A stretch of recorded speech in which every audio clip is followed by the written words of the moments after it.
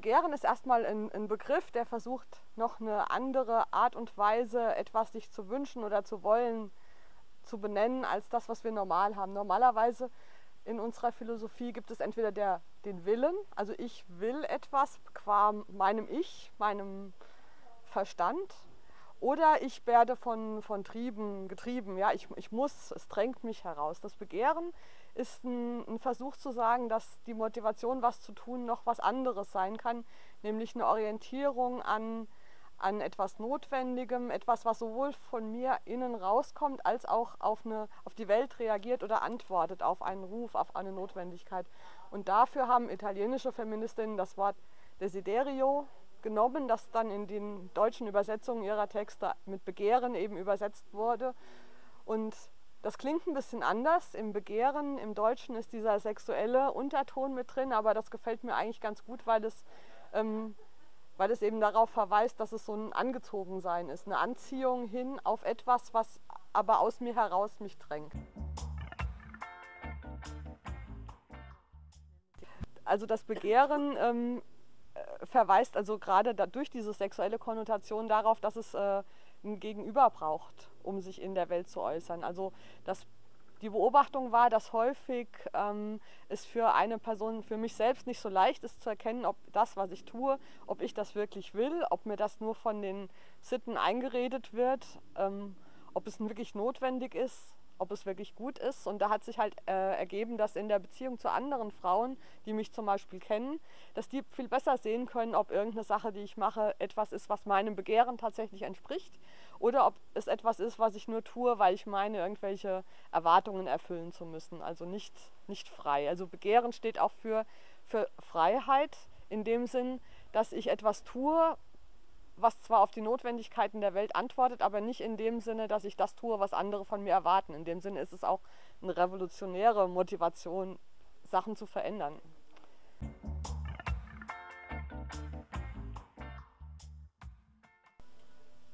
Naja, das, das Begehren äh, ist erstmal eine Praxis. Also es ist erstmal, wenn man es als, als eine mögliche Motivation versteht, kann man das erstmal im Alltag über, überprüfen. Ne? Also die Frage, was ich tue, hat das was mit meinem Begehren zu tun oder nicht, ist eine alltägliche Frage und erstmal keine philosophische. Das äh, Problem ist, dass in unserer Kultur das weibliche Begehren keine Rolle spielt oder auch keine spielen sollte. Also oft, wenn ich äh, mit älteren Frauen zu tun habe, dann sagen die, dass sie gelernt haben, du sollst nicht begehren. Also das Begehren, gerade das Begehren von Frauen, ist, ist lange Zeit negativ bewertet worden oder als unwichtig äh, verstanden worden, weil es, die Leute haben sich immer Gedanken darüber gemacht, was eine gute Frau tun soll oder was Frauen tun sollen, da, da, damit es der Gesellschaft nützt. Und das, was Frauen begehren, das hat halt keine Rolle gespielt. Und deshalb muss eine feministische, ähm, ein feministisches Denken erstmal einen Raum schaffen für diesen Gedanken, dass das Begehren einer Frau eine wichtige Sache ist. Und insofern ist es in unserem Denken wichtig, weil äh, also in unserem Denken sozusagen, weil es eben davon ausgeht, dass Feminismus keinen bestimmten Inhalt hat. Also die gute Feministin muss für dieses oder jenes Thema inhaltlich sein, sondern dass es eigentlich darum geht, in der Welt Platz zu schaffen, damit das Begehren der Frauen sich entfalten kann und einflussreich werden kann.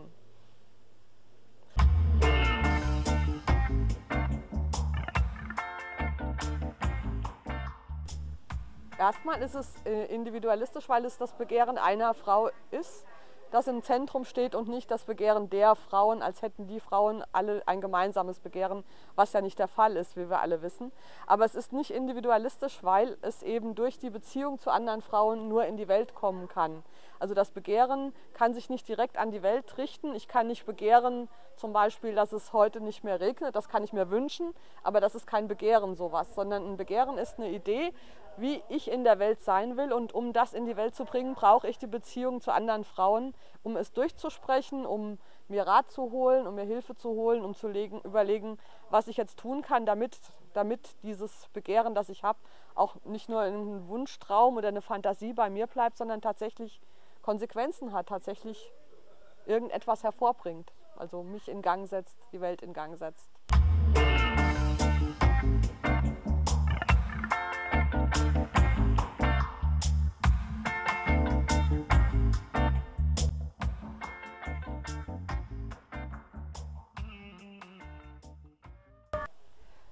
Genau, das ist dieser, dieser, dieser Gegensatz, dass gedacht wurde, äh, die, die, der, der, das Gegenteil von Fremdbestimmtsein ist, ich denke mir was aus, was ich will und was ich setze. Das Begehren ist tatsächlich äh, nicht so selbstbestimmt, weil es eben eine Anziehung ist, aber es ist ja eine, positiv, eine positive Energie. Also wenn ich äh, spüre, ich muss irgendeine politische Aktion machen, ich muss ein Thema bearbeiten, das drängt mich dazu. Irgendetwas an diesem Thema zieht mich an und das macht mich stark. Und Freiheit besteht darin, diesen ähm, diesem, dieser Motivation dann auch folgen zu können und nicht zum Beispiel zu sagen, also das Thema verkauft sich momentan nicht gut oder der Markt braucht das nicht oder eine gute Frau macht das nicht.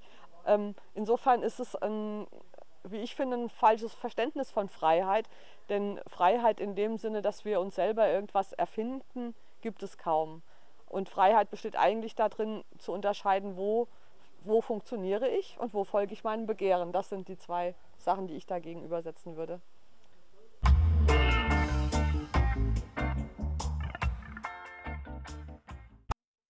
Zur Gier.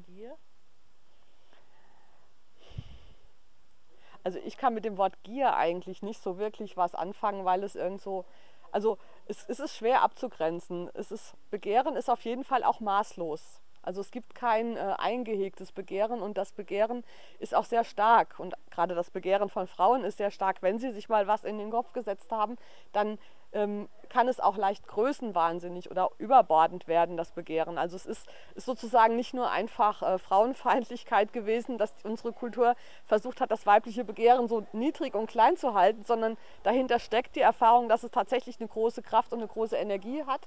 Und deshalb ähm, ist es auch wichtig, eine Kultur zu entwickeln, die dieses Begehren sagen wir, organisiert. Also zum Beispiel, wenn eine Frau völlig größenwahnsinnige ähm, missionarische Vorstellungen hat, wie sie die Welt rettet, ist es gut, wenn sie dann einen Maßstab hat in anderen Frauen, die das äh, wieder mit der Welt, so wie sie nun mal ist, in Zusammenhang bringen. Denn äh, ja, sonst kann es auch negative Folgen haben für die Welt und für die betroffene Frau. Also es ist, ähm, also das Begehren ist vielleicht eine Gier, die die positiven Seiten aufgreift, aber zivilisiert hat und kultiviert hat in einer Kultur, die das Begehren wichtig hält, aber auch Wege vorsieht, ja, wie man damit dann umgeht und nicht so blauäugig in irgendwelche Abenteuer einfach hineinlaufen, ohne das mit irgendjemand vorher zu besprechen oder ohne sich realistisch die Folgen zu überlegen.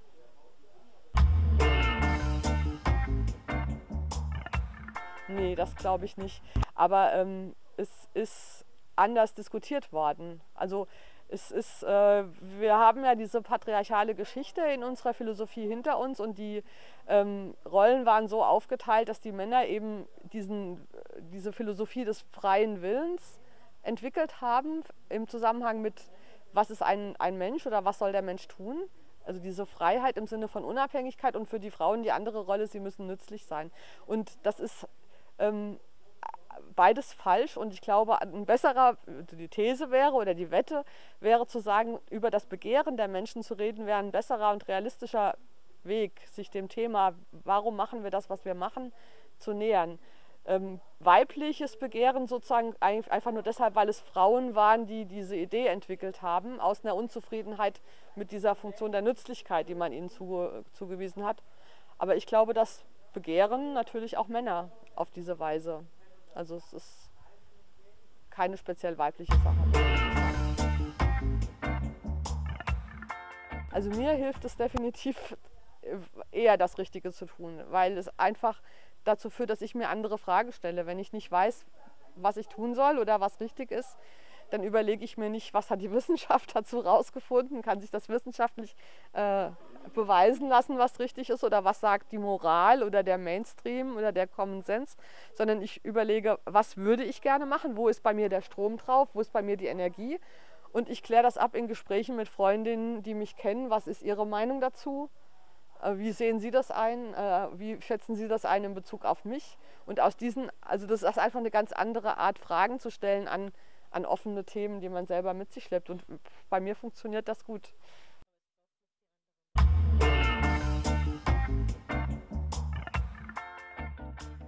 Nee, das braucht auch die anderen, aber die anderen hat man ja auch immer. Also es braucht jetzt nicht unbedingt andere, die auch schon diese, dieses theoretische Denken drauf haben, sondern es braucht einfach irgendwelche anderen, aber es sind auch immer irgendwelche anderen da.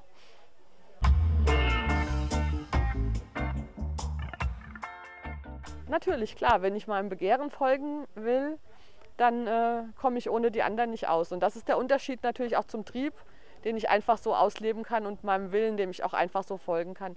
Mit meinem Begehren äh, geht das nicht so, sondern es richtet sich, es braucht auch die Vermittlung der anderen. Und das, ähm, deshalb gesteht man sich das auch vielleicht nicht so leicht ein. Also weil es dann nicht so machbar ist und nicht so kontrollierbar ist. Ich finde immer ein gutes Beispiel ist das mit dem Kind, das Hunger hat und schreit, weil es Milch will. Und dann schreit das Kind nicht den Kühlschrank an, wo die Milch drinsteht, das würde nämlich nichts nützen, sondern das Schrei oder das Begehren nach Milch richtet sich an die Mutter oder an die Person, die die Milch aus dem Kühlschrank holt. Und so ist das bei mir auch mit dem Begehren. Also ich will was, aber alleine kann ich es nicht verwirklichen, aber ich kann mir andere suchen, die mir dabei helfen. Ich bin auch abhängig von Resonanz. Also wenn nur mein eigenes Begehren ist und die ganze Welt dem die kalte Schulter zeigt, dann äh, muss ich mir andere Wege suchen, andere Wege der Vermittlung. Ich bin auf die Vermittlung angewiesen. Ähm, ich kann der Welt nicht beweisen, dass mein Begehren richtig ist. Ich bin auf die anderen angewiesen, indem ich sie überzeugen muss. Das ist einfach eine andere Art, auch an Politik ranzugehen. Ähm, wenn ich vom Begehren aus Politik mache, heißt das, meine Aufgabe ist nicht, äh, die aller hieb- und stichfestesten Argumente für das, was ich will, zu finden, sondern möglichst viele, die mit mir zusammen, also die ich von dieser Idee auch begeistern kann oder die mir helfen können bei der Verwirklichung meiner Ideen. Also es gibt da nicht die objektive Wahrheit, sondern es ist ein Prozess.